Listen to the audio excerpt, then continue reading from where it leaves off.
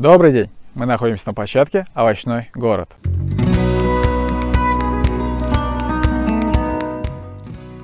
Как и предполагалось, делянка, которая не обрабатывалась фунгицидами, практически полностью сгорела от фитофтороза. При этом делянка, которая обрабатывалась препаратами компании Сингента, остается зеленой. Последние две обработки на защищенном участке производились препаратом Ревустоп в дозировке 0,6 литров на гектар.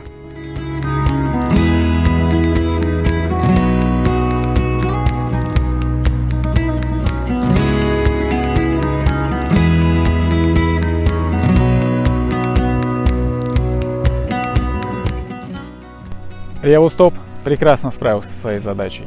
Нам удалось сдержать и фитофтору, и альтернарию, даже при условии того, что обрабатываемый участок находится в непосредственной близости к участку, на котором не применялось ни одного фунгицида за сезон.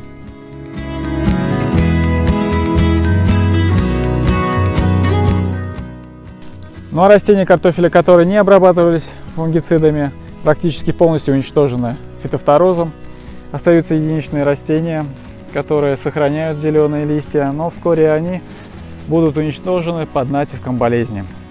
А на освободившемся месте от картофеля уже начинают сходить сорняки.